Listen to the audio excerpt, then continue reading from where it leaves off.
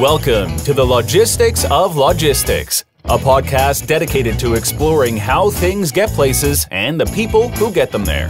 We'll talk with logistics and supply chain leaders about innovation, industry trends, and the future of the logistics business. Now, here's your host, Joe Lynch. Hello, friends. Welcome to the Logistics of Logistics podcast. My name is Joe Lynch. Thank you so much for joining us today. Today's topic is Symtrain Demo with my friend Melanie Flores. How's it going, Melanie? Very good. Uh, thanks for having me, Joe. So, we should probably put some context in there. So, we did an interview, I did an interview with you and Nick Strober from Lean. And we wanted to do a quick demo as part of that, but since there was three of us on uh, on the on the interview that was going to be too hard and we wanted to we wanted to have a separate and so this is just a separate uh, I will call it a companion or a complement to the interview we did with Nick Strober anyway um, before we go any further Melanie please introduce yourself and your company and where you're calling from today so I am calling. Well, I'm, I'm I'm joining this call from Alpharetta, Georgia, which is just north of Atlanta, and I'm the director of solutions consulting with Symtrain.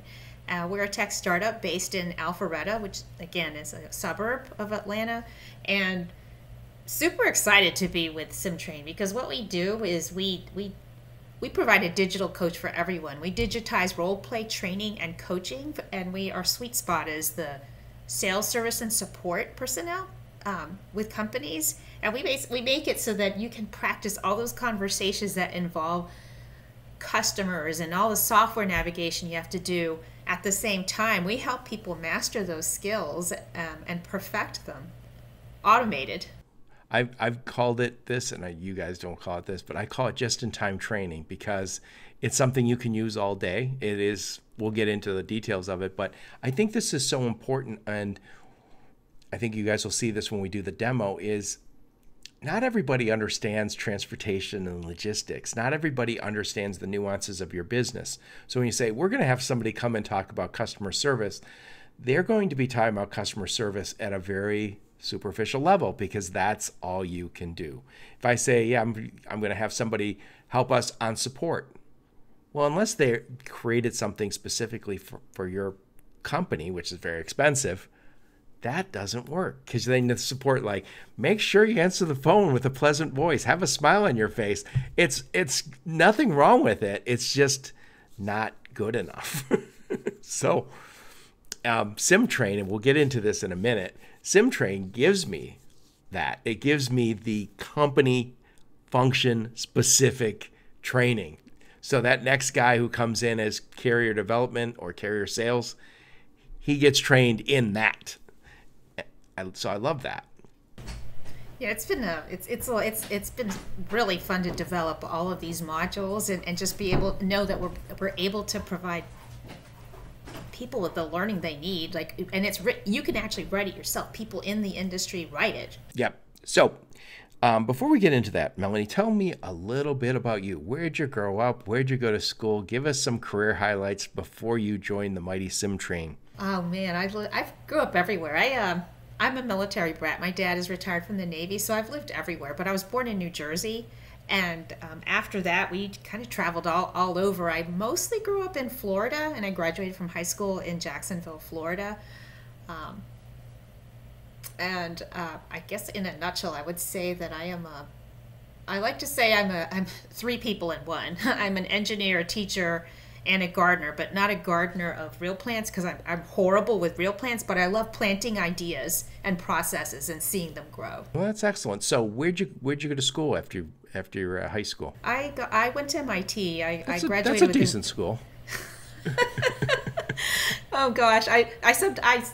I swear, I, I, I, sometimes felt like the dumbest person there. When I first got there, I think everyone, maybe not everyone, but I know that's a pretty common feeling for freshmen when you get there. You get there and you realize, whoa, I might literally be the dumbest person in this lecture hall. At least I know I remember feeling the, that the way. The dumbest person at MIT is a smart person. so, but uh, I, you know, feel really, uh, really blessed to have gotten the opportunity to go there. Um, so the, I, I did graduate with a chemical engineering degree from there. Um, so while there, I, I also you have to you have to choose a concentration. They like to make sure that you you don't do nothing but STEM classes. They want to make sure you're well rounded. So you had to pick something in the humanities or you know the more liberal arts field to concentrate in. So I chose theater arts, um, and I really enjoyed it, which is um, it's kind of funny because you know uh, uh, script writing is part of Symtrain. It's like the polar opposite. Yeah, but if you think about it, like when you think about a chemical engineer, you don't think that they understand anything about the humanities or theater, right? So it's it's that's great that they did that. Um, by the way, I've had Andrew Kelly on my podcast a number of times, and he went. I forgot where he got his undergrad, but he got an engi- uh, engineering degree in his undergrad somewhere in North Carolina. I forgot which school, and then he went to MIT for his master's of engineering, and then he went and got a Harvard MBA. And I asked him which was what was harder, Harvard MBA or and he goes, "Oh my God, Joe, there's no discussion." He goes, "Getting an, a master's from MIT was impossibly hard." And by the way, you, what you mentioned that kind of not feeling like you fit in, I heard Conan O'Brien, who went to Harvard, talk about going to Harvard, and he said, he goes, I didn't feel like I belonged there. He says, I worked so hard to get there. And he goes, and then I got there, and I, for a while I thought, I don't belong here. There's everybody here is smarter than me. He goes, and he goes, but then I started realizing, like, you know, I guess I kind of belong here. I got I got in, and then he said, you know, but there's not everybody necessarily who went to great schools accomplished anything. He said because he goes, some of them were like great students, but not particularly engaging and not particularly uh, people oriented. He goes, which will hold you back. But he said he goes he goes, as a result of going to Harvard, he goes, everyone had an assumption about me my whole career.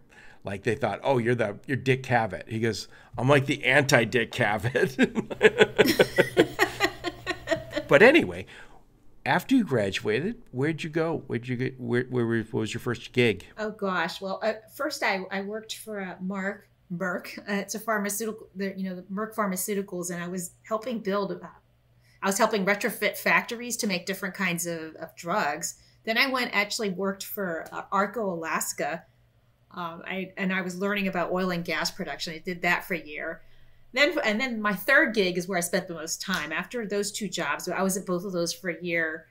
Uh, kind of definitely dabbling. My I, I my husband and I just gotten married, and uh, we were definitely exploring. Um, after after living in Anchorage for a year, we decided to come back to the lower 48 and um, I went to work for Corning. Somewhere warm. Yes, somewhere warm. But I, I, don't regret living in Alaska at all. It was the most amazing way. We were newlyweds, and so it was the most amazing way to, to, to. It was it was just gorgeous, the and a, a unique experience. But after about a year, yes, uh, we decided okay, it's time to let's go back down to where it's warmer. And so, um, he and I both went to work for Corning. So that's where I spent um, the remainder of my engineering, my time as an engineer was with Corning in their optical fiber division. So I, I, I was with um, their Wilmington plant and I was a production supervisor. It was, it was a union environment. I supervised 25 um, operators. Most of them was old enough to be, most of them were old enough to be my parents.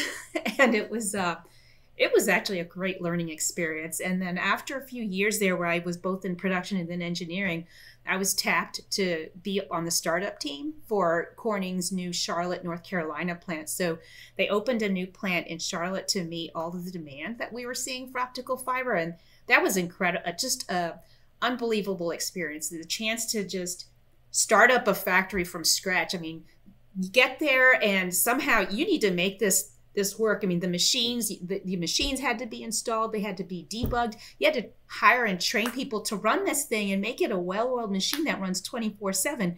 And when it, it, it was just um, that was also a, a, transformational period in my life, just being part of that that whole experience and working with the others on the team to, to bring this machine, this this bring up the the entire factory. Yeah, I'll throw this out there. Most engineers.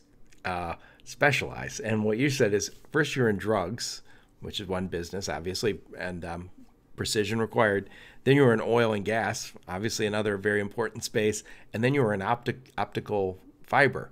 These are three very different kind of spaces. Yeah, it's been I definitely I've I've pretty every I've pretty much dabbled in everything for my entire life, like different careers, different fields, and uh, it's I think it's actually been uh, I can't imagine you got a curious living mind. any other way. Yeah, just I, just it, and and then the beauty of that is then you can combine ideas from all the different places you've been, and, and to to make an impact wherever you are now. It's it's I think that's super fun. I remember um, when I was still in the 3PL biz, we um, there's somebody I worked with, one of my managers, and she would say to some of the younger people who were not pursuing the uh, having the rigor they needed to with billing errors or other problems, and she'd say, "You need to have intellectual curiosity. Why did you go to college if you don't have intellectual curiosity?" And I was like wow i was like that is so true like because a lot of people graduate college and go that was it Woo! i went to school for 12 years went to four years of college Whew, i'm all done with all that. Now no more learning. Oh my gosh. That that just yeah no no. The learning just is beginning when Should you get be. out. And uh, yeah yeah. And i i actually I look I looked for that when I was when I was in, in the classroom. I just loved when I would see that that spark of intellectual curiosity and, in, you know in my students, and I look for it in my colleagues. wait so wait you, you didn't get to that when were you, when Oh. were you teaching okay, so so I was I was an engineer for I don't know like ten years, and then and then I um, then we started a family. Stay I stayed home with the kids for for for six years, and and part of that time I was in Ann Arbor. oh okay go blue Yeah. Yeah, that's right. Go blue. And then, um, and then when it was time to go back to work, I actually decided um, I'd always, I'd always had like a, a, an interest in teaching, and I wanted to try to find a way to bring my my background and and uh, my love for STEM to young kids. So, I, on a lark, I, I just called the school where where our two sons were going. They were three and six in the time, and I I just first I said, "Hey, do you? Uh, I would love to get more involved in this school. I wanted to try to find a way, maybe to volunteer or something, to to try to help bring some some STEM related experience to the young to the children." And they said, "Actually, you want to work here? We just uh, we just had an assistant teacher quit, and and it was August, and they said we need an assistant teacher for one of the classrooms." I said, "Well, I'm not. I, I'm trained as an engineer," and they said, "Well." you're an assistant Montessori teacher, and your job is to prepare the environment and and and be there to support the lead teacher, um, and so and you will learn how to do that. You know, uh, so I said, okay, sure. So I tried it, and I ended up I ended up be, being in the in the early childhood education field for ten years. Yeah, again, I, before we hit record, we were, I was sharing some of my background. I worked in engineering for many years, but then I got my master's in education, and I was kind of the similar journey. I was so interested in the personal development side, and by the way, this podcast is an extension of that because I started as a blogger. I loved the idea of of doing train. I did a ton of workshops, most of them cost savings, lean, all that kind of stuff. But but I love that that the discovery. I liked leading these these teams basically. But you also you can't help but learn lean when you're doing workshop after workshop. And obviously if you're anywhere in ops somebody's going to say save us money. Can we go faster better cheaper? And i used to just love doing that kind of work. And i always thought like the podcast is kind of that this thought was everybody wants to learn more about this enormous space and who better to learn from than people like yourself who have, are experts in certain spaces Yeah, you're definitely teaching through this podcast. You're, I you're hope. basically- I Yeah, hope. definitely, definitely. So, um, where'd you go after teaching? So after teaching, uh, I ended up I, I ended up I did a short stint like a year with Easter Seals of North Georgia. I was I I I led the uh, the team that implemented video based coaching in the in the topic of STEM for like 24 classrooms across Metro Atlanta, and that was that was a lot of fun. But then my younger son, who's who's 16, asked me to help him build a business. And um, he had he had invented this paper candy machine and he wanted to see if he could commercialize the idea. And uh, there were some things going on personally in our lives like some, some health issues and things that i said okay you know what? I think this is the universe telling me that i just go for it. So i, I turned in my notice to to easter seals and i jumped on board with my son he was 13 at the time and i helped him build a an e-commerce business called octogifts and it was selling these machines that he had invented that you make yourself from paper. They start out with flat sheets of paper and you cut and fold it like origami style to make a an actual functional candy machine that would dispense candy. and I, you know, I thought that's a, I wanted to help him um, see how far this idea would go, and I, we did that for two years. He ended up creating like kits so you could so people could build them, and ended up selling like hundreds across the U.S. So that was a uh, that was a that was a such a fun ride. I couldn't imagine. Must take after mom. oh, I, I don't have the I do not have the mechanical inclination he does. I mean, he's uh, he's well. Very, you said uh, you said your husband went to MIT too, right? Yeah, yeah, he did, and Michigan. Yeah, go blue. so yeah, you, you, I can see where your son might come to uh, some natural abilities in that area. so so, did, did you join sim training after that? I did. I did. I, I joined it because after once my once once Sebastian hit around age 15, he was in high school. He, he actually fired me.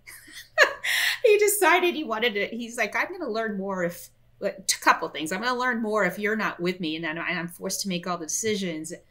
And um, two, he just and you said that's fine. I'm not going to yeah. let you get your license.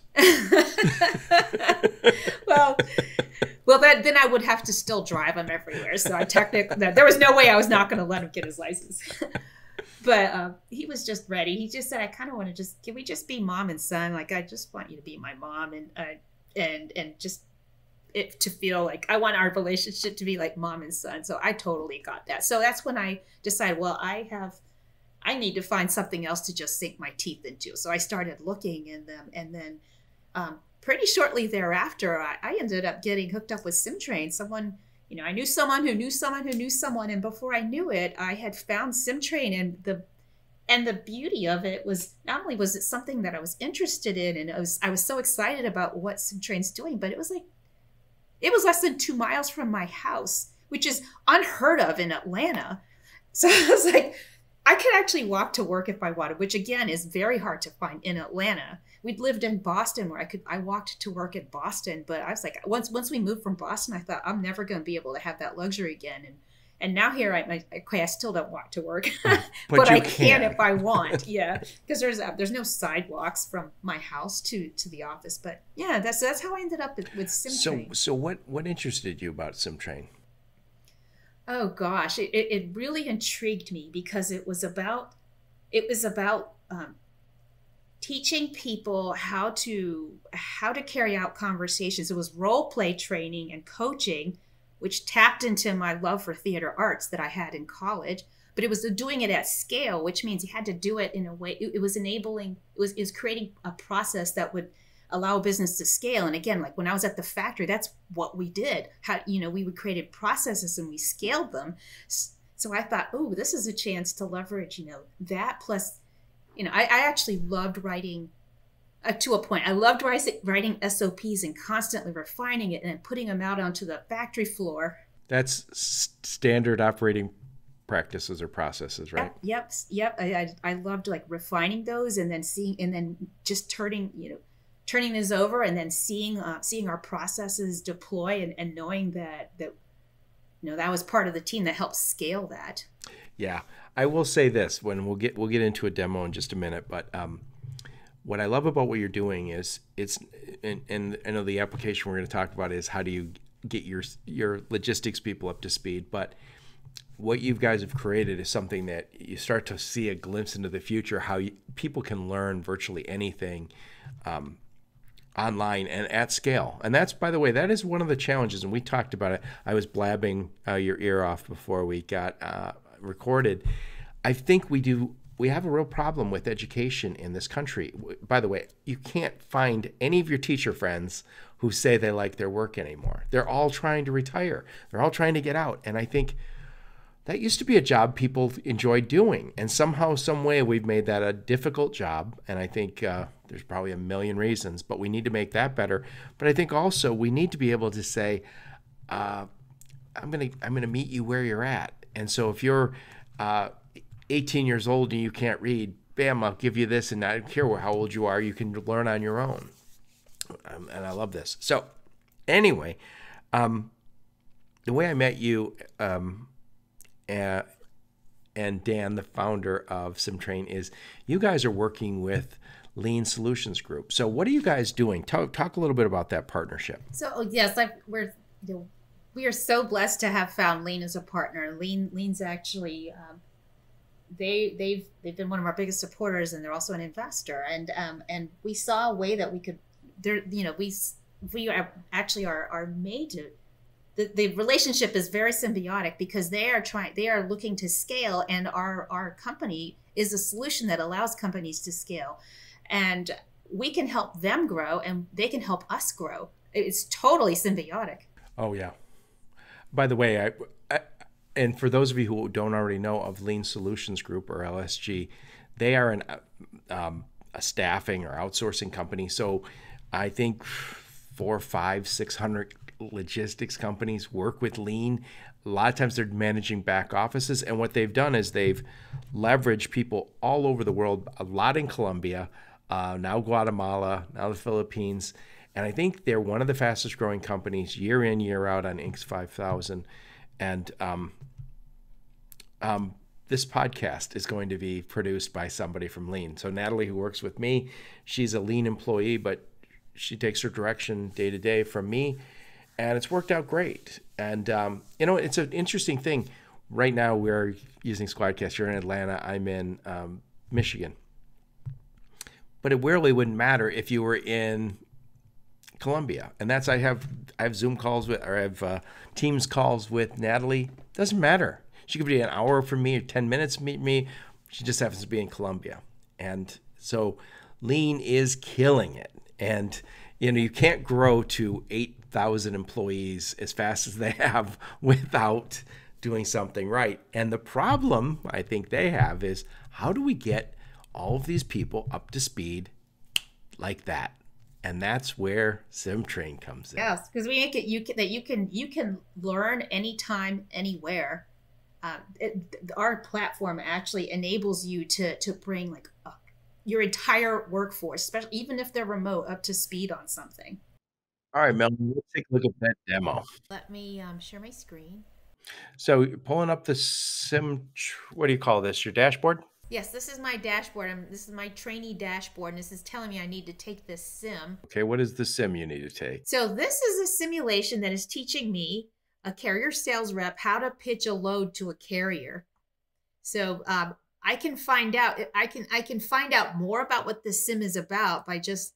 There's actually a Netflix Netflix trailer type video I can watch right here. All right. In this simulation, you will practice pitching a load in under 45 seconds. Interesting. So now I can actually practice it a and few so, times. So this is before you practice. This is 53 foot dry van. This can be moving dog food. So you're going to be calling a carrier that has an available truck or hopefully an available truck. Yes, yes. I, I saw a, a um, one post a 53 foot dry van load dry, dry van in Dallas, Texas. So I'm calling this person to see You're if gonna pitch them on your load. exactly, exactly. And um, this this this um this simulation is actually based on something that Isaac Moreno and Trey Griggs uh, built for Lean. So this is this is this is an actual Lean simulation. I've just changed some of the words to make the demo shorter. To put it in context, Lean uses this to educate their people to support their customers. But uh, so you work with Lean, they're an investor but also somebody could come to Symtrain if they wanted and say, we want that. But um, so you have customers who are not lean.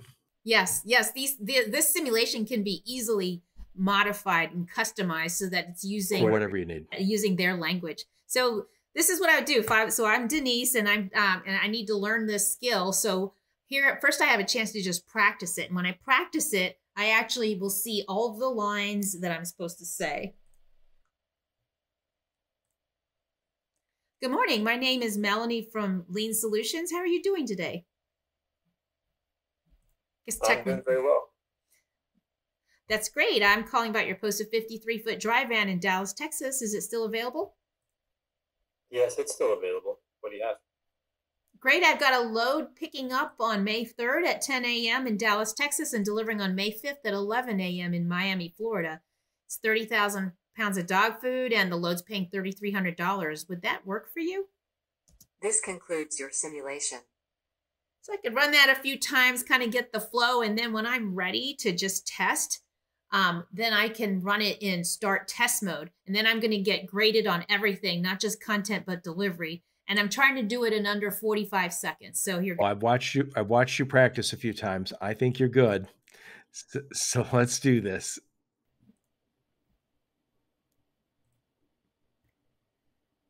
Good morning. This is Denise from Lean Solutions. How are you doing today? I'm doing very well. Great. I'm calling about your posted 53 foot dry van in Dallas, Texas for today. Is it still available? Yes, it's still available. What do you have? Uh, I've got a, a load picking up on May 3rd at 10 a.m. in Dallas, Texas, and delivering on May 5th at 11 a.m. in Miami, Florida. It's 30,000 pounds of dog food, and it's the load's paying $3,300. Um, would this work for you? This concludes your simulation. So now I can see how did I do. Nice work, Denise. yeah, the first time I forgot to I used my real name, but here I. Okay, so this tells this this tells me I I I missed three keywords and those show up in red here, and then in and then I scored well for confidence and energy, but I was in the red zone for concentration, so I need to work on that. So this is a the, is your sim score there is 32 out of 35? That's correct. So that's pretty good. I'd hire you. well, thank you, Joe. So what's nice about this is if you felt uncomfortable that your concentration wasn't high enough, you can go back and do it again. I could. Until you get 100%. Yes, I definitely could. I, I could do that. And um, it's also something my manager can see. So this actually helps with those awkward conversations. I mean, my, my manager can look at this with me and, and now we could look at it together and say, you know, if I keep if I keep scoring low in, in, in one of these, then it, it opens the door to a conversation. It's like, well, it looks like the reports are showing this. Um, what can we work on? And it, gives, I don't know, it somehow makes it a less awkward conversation because you're looking at objective data and you're looking at it, it, it, it, it provides um, scaffolding for the con for a conversation yeah. that's sometimes hard. Uh, being a podcaster, I am sensitive to some of this because I have people on my podcast who sometimes be monotone, not everybody, and not most people. And most people match your energy. But what you guys got a cool thing on here is confidence. So your machine learning or AI is judging whether Denise or you sounded confident. Also, if, if you're concentrating and also if you had the right energy level. So where your boss just goes, I don't know, Melanie's okay, but not great. I don't, I can't put my finger on it. In a way, this quantifies some things that previously is not quantifiable. Yes, it takes the up uh, the subject subjectivity out of it. Yeah, I love that. Also, just if you're not feeling comfortable, you just keep doing it. Absolutely. And the, the thing is that you can also create all these, you know, one of our customers, they love creating these crazy scenarios like the difficult calls, and you throw this, those in there, and you can actually, you can sprinkle these, people could take those difficult call simulations and just practice them every once in a while so they don't get rusty. So when they actually get a real call, um, they, they've just brushed up on the skills that they need. right. Um, when I still ran a little 3PL, we did a great job and we had a great customer we all well we liked very much and his name was effin victor because he said effin a lot and um when the phone would ring some of the women in the office go i'm not talking to him because he was kind of crude which now here 10 years later we probably would say you can't do that but he wasn't super inappropriate but he was very loud very demanding and he was intimidating to even i remember he would call some of my brand new people and go blah, blah, blah, blah, whatever he wanted and and then call me and go oh i just talked to your guy and he doesn't know anything blah blah blah i'm gonna have to call you direct and I was like, would you stop torturing my new people? but that is a reality. So if you have a customer who is difficult, demanding. Maybe I'm just throwing this out there. Maybe they have uh, an accent that's hard to understand. We do so much business with Mexico. Maybe their English isn't their first language. Yep, you could create customers just like that and simulate it. In fact, we've had customers take call recordings of their like tough calls and you can convert those into the sim voice. So that, no kidding, you are actually having your people practice that crazy call that happened three months ago and and and and, and help people practice how they can handle that kind of call using so, actual voices what if it so much business is done by email what if how do i train someone using email we haven't tried email yet but that could be something we go into i know that we are we are starting to to dabble in like how can you how can we train people on how to I respond saw, to I chat saw, i saw i saw a mess i thought i saw a message that you guys sent are you wondering if we if we could somehow be used to train people on how to respond in an email? Well, no, respond to an email. Like I'm calling regarding your email. You can have a, a simulation where someone calls regarding you know an email, and then you can have the agent like pull up the email, and we can actually have the simulation show like the email and then what the agent should be looking for in that. Yeah. So I think what's nice about all this is all the scenarios. So if one of your people was uh, observing a problem at the port and couldn't figure out how to do what they're supposed to do on a timely basis, you create a class. I mean, uh, a sim. And it could be a 20 minute sim. Oh, like we actually sim. recommend they're only they they we recommend like really short sims. 5 sim 5 5 minutes or less is ideal because then they people will will retain it better. I mean, just like you don't want to go. I mean, you go to YouTube usually right, for the right. shortest video, so you don't want to do that do that with Sims either. Yeah, but what's nice about all this is this the just in time nature of it. Um, and for sales, this would be great also because you have to have product knowledge, and so often sales trainers they don't know logistics, and even if they know logistics, they don't know how you do it. I did a lot of sales training in the past, and one of the challenges is if the boss didn't do it that way, it didn't matter what you were training them. So I'd say, do it this way, this way, this way. And then they go back, and Melanie goes, We don't do it that way. mm-hmm. Yeah, this this makes it consistent. This this makes it consistent. So let's wrap this bad boy up. Um, this the company's name is Symtrain. You guys are partnering with Lean Solution Group.